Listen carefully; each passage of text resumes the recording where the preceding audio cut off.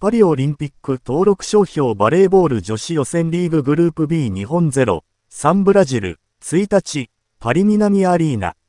ロンドン五輪以来、12年ぶりの表彰台を目指す女子日本代表、世界ランク7位は同2位のブラジルにセットカウント0対3、20から25、17から25、18から25で敗れ、予選リーグ2連敗。グループ B の3位以下が決まった。準々決勝には各グループ上位2チームと3位チームの中から上位2チーム、計8チームが進むことができる。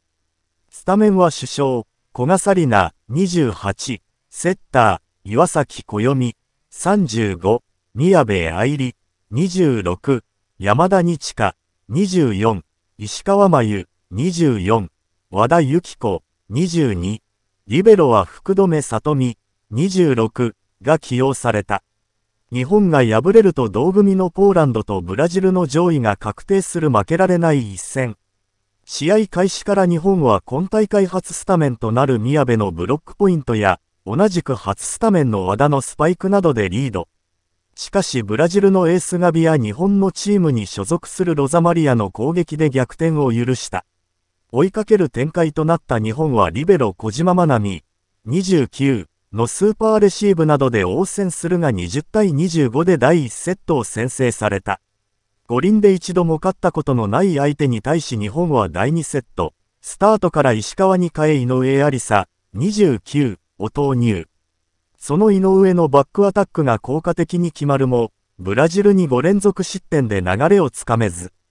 ブロックにサーブにと相手ペースで17対25で2セット連取された。後がなくなった日本はエンジンを組み、古賀キャプテンが声をかけ第3セットに挑んだ。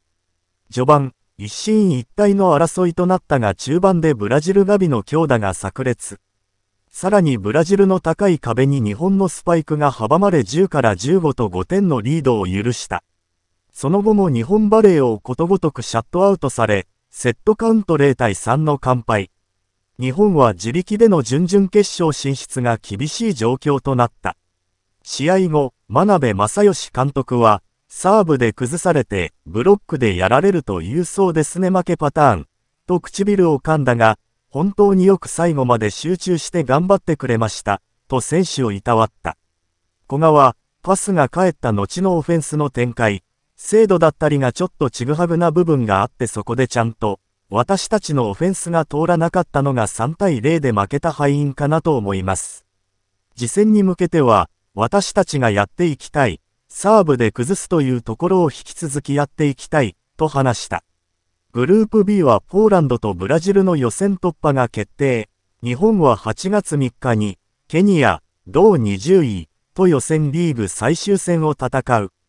世界ランキングは試合前時点、予選リーグ日程、7月28日日本1の3ポーランド、8月1日日本0、3ブラジル、8月3日日本、ケニア、グループ B 順位、試合終了時、1ブラジル勝ち点6、2ポーランド勝ち点6、2日本勝ち点0、4ケニア勝ち点0、